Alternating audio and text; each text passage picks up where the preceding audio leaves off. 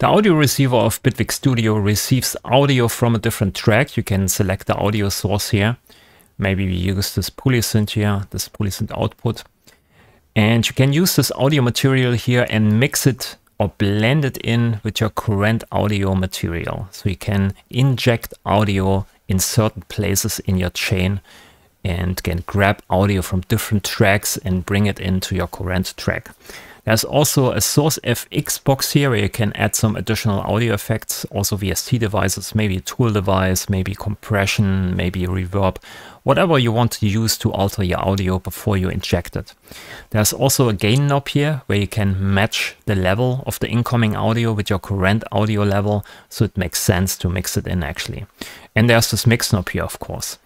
And it's nice that you can modulate this mix knob because it makes this device basically nice for creative uses. And I'll show you in a minute how you can do that.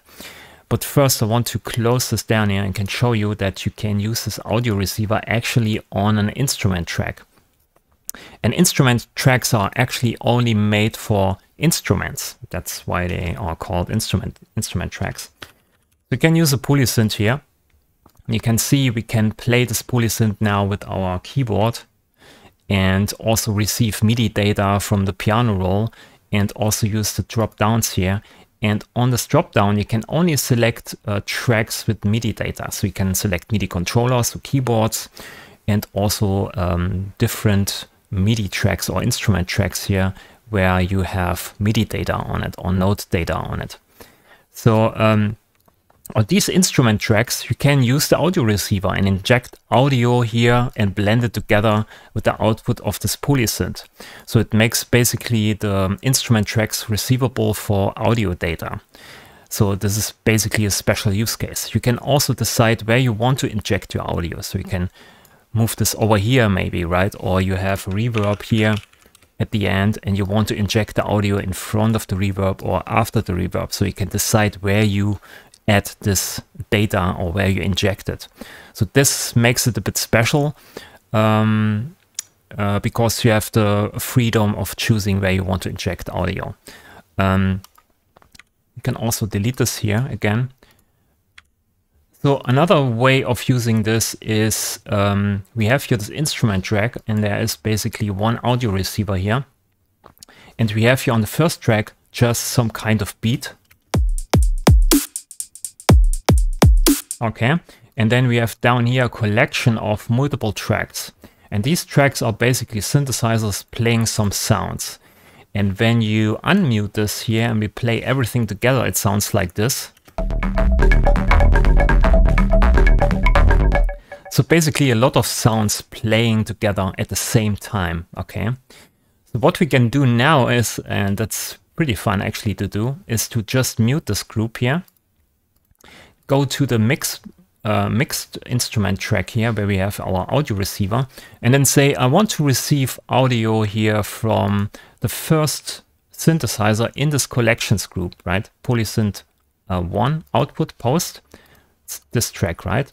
And then we um, yeah, just duplicate this here and select the second polysynth output, duplicate, select the third one, and we have also a bass in there collection bass output, right? So now we receive audio from these four tracks here in this collection folder and the collection bus is basically muted. So we can hit play here, or let's actually single this, solo this here. Um, so we can hit play here and then we can fade in this synthesizer or this track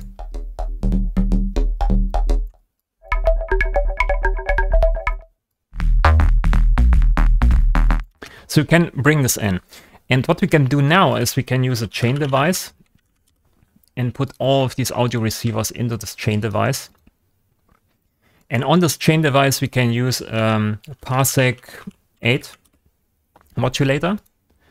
And you can see we have here multiple steps and we can modulate something with each with uh, each step. And there's also um, a tutorial on this page here for the ParSeq-8 if you want to dive into this more. So we can use the first step, modulate the first audio source, then the second one, the third one, and the fourth one. So now we bring down here the steps to four because we have only four steps. You can use, of course, your eight uh, audio receivers if you want to. And now when we hit play, we basically step through the sequencer here and mix in each of these devices.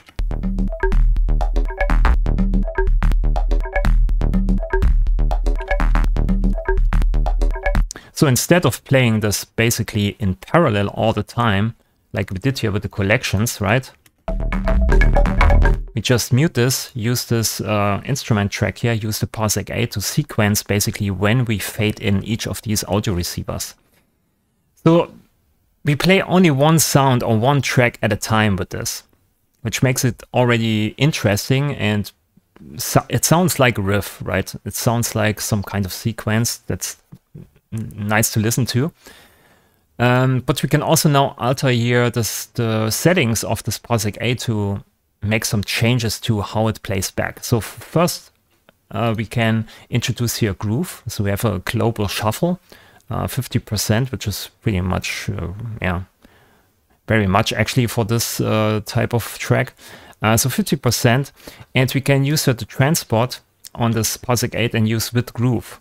So now the playback is actually shuffled by the global shuffle amount.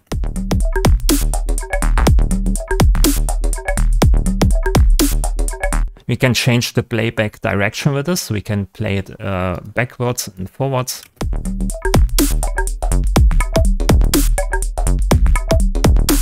We can change this playback speed here.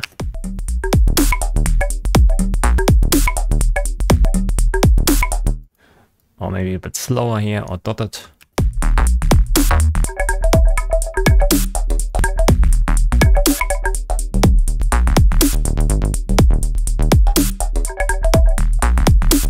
Something like this.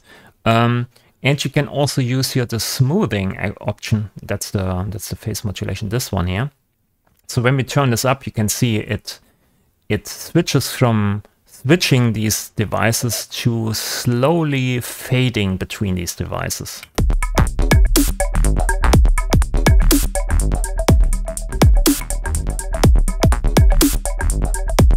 So this is nice to know when you actually deal with some zero crossing click um, click uh, sounds and you want to, you know, get rid of this, you dial up here the smoothing a bit.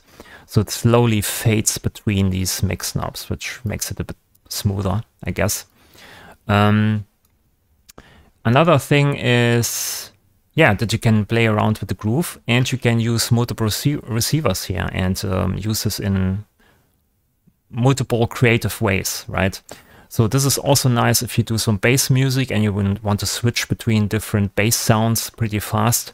And you also want to change when you switch between these um, these bass sounds in a rhythmical way. So you can also modulate this ParSeq-8 again with different, maybe with the step mod here, right? You can say I'm using a step mod here and I modulate the speed setting here or the playback direction with this. Um, let's use this one here. Maybe go for two. And Then randomize this here.